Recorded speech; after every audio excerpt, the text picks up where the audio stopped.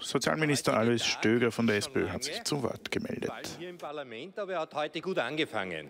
Er hat damit angefangen, dass der Verfassungsgerichtshof Ihnen, Ihnen Recht gegeben hat, nämlich indem er nicht zugelassen hat, dass der Bank Austria es ermöglicht wird, mit sieben Prozent sich aus der Verantwortung zu ziehen und die, Veran und die Verantwortung für die und die Verantwortung für die Zahlung der Pensionen äh, der Versichertengemeinschaft überlassen hat. Sie haben gemeinsam dafür gesorgt, auch auf meinen Vorschlag, äh, dass es hier zu einer Gerechtigkeit kommt. Es ist, ich glaube, da kann man applaudieren, das ist wichtig, da hat man Ihnen Recht gegeben und das finde ich sehr gut. Das ist eine, eine wichtige Sache, nämlich das ist die Sache, dass die Menschen in Österreich ein Vertrauen darauf haben können, dass sie Schutz haben, dass sie nicht davon abhängig sind, ob eine Bank will oder nicht will, ob der Finanzmarkt Geld hergibt oder nicht. Und Frau Abgeordnete Gammon, ich lade Sie ein zu mir ins Büro. Habe da einen Urartikel, nämlich einen Urartikel aus der Zeitung 1958. Da war ich noch nicht auf der Welt. Da war ein Jahr lang das ASVG in Kraft. Und da haben die Journalisten genau dasselbe gesagt. Das geht nicht, das kann sich nicht ausgehen und es wird sich nicht ausgehen. Und wir haben 60 Jahre und ein paar Monate in Österreich bewiesen, dass wir den Menschen die Sicherheit gegeben haben und pünktlich die Pensionen ausgezahlt haben. In allen Bereichen. Und wir haben es erweitert. Wir haben die Gruppen dazugenommen, die einen besonderen Schutz gebraucht haben.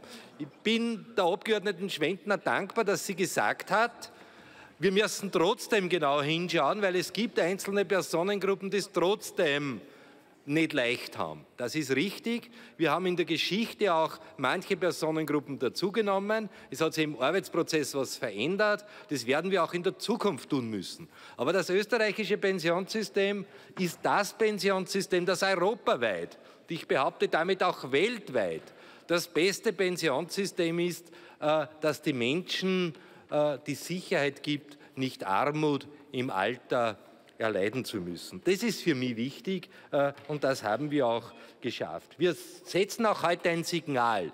Wir setzen ein Signal, dass wir die unteren Pensionen mit 2,2 Prozent mehr anheben, weil wir sagen, Butter und Brot ist für alle teurer geworden und das kaufen Pensionistinnen und Pensionisten, die wenig haben, eher öfter ein. Und daher haben wir sie angehoben. Äh, das ist der Vorschlag, äh, der hier äh, eingebracht worden ist. Ich bedanke mich auch bei Ihnen, wenn Sie dem die Zustimmung geben. Wir haben auch ein Signal gesetzt, dass Pensionen über 5000 Euro nicht erhöht werden. Ich bedanke mich auch bei allen, die davon betroffen sind, dass Sie hier ein Zeichen auch der Solidarität für die Menschen setzen, die in Österreich lange gearbeitet haben und eine geringe äh, Pension haben.